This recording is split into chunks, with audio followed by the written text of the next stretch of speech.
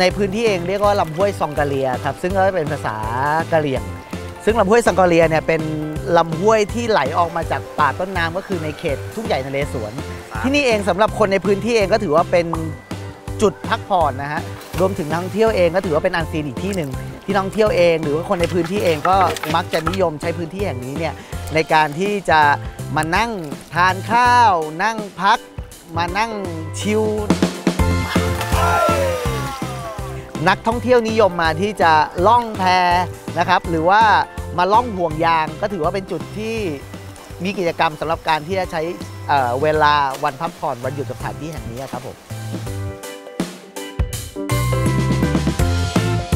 สังขบุรีเมืองเล็ก ๆ นะครับ เมืองที่มีความงดงามทั้งสภาพแวดล้อม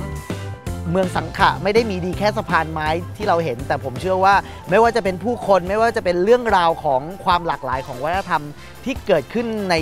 พื้นที่แห่งนี้ ผมเชื่อว่าทุกคนรอต้อนรับนักท่องเที่ยวที่ให้มาเยี่ยมมาเยือนครับ ไปเที่ยวเมืองไทยกันเถอะ